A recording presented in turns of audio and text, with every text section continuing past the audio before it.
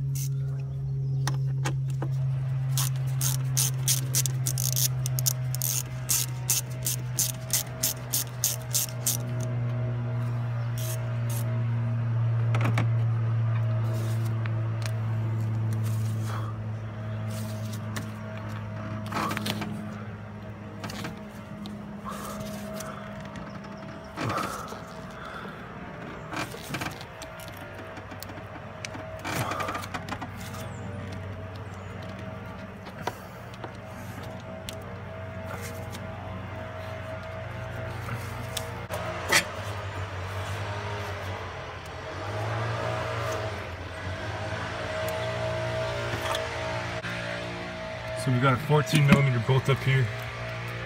Just disconnect this.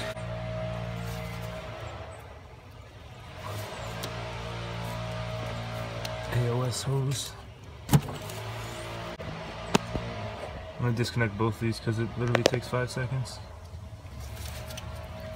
And is it they only go in one way? Or will they both go to the same place? There we go. We've got tons of access to the turbo right here.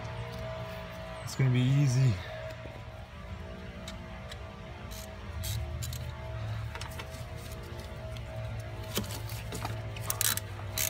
I'm not sure if this is gonna spill or not, but I have a boogie board with a towel on it underneath the car in case it spills.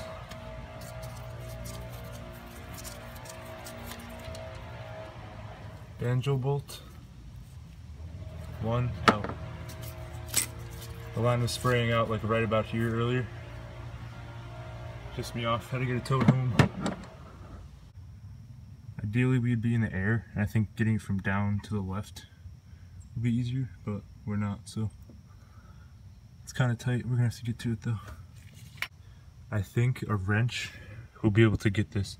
And normally, when you break sling free, or like when you break these banjo bolts free, they spin out pretty freely once they get loosened up.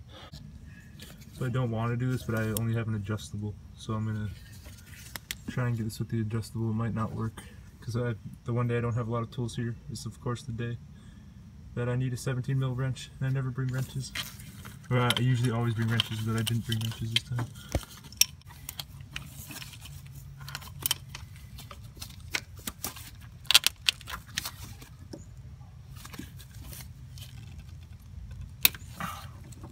Yeah, baby, turn.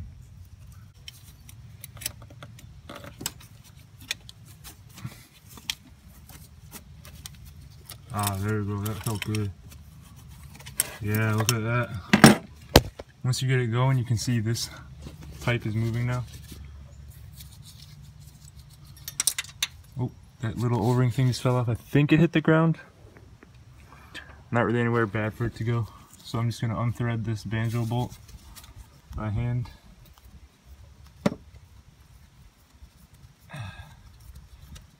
There's no real good view, I apologize. Spilled a little bit of oil.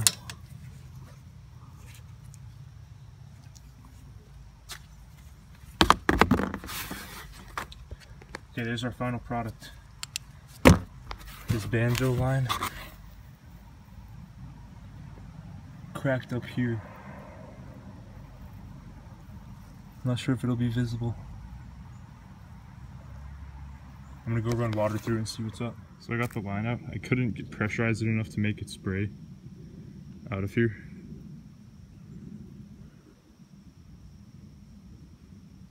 But here's the big end, here's the small end, it's taken out. This is a one piece line. This is not a union. Try to hold this with my mouth.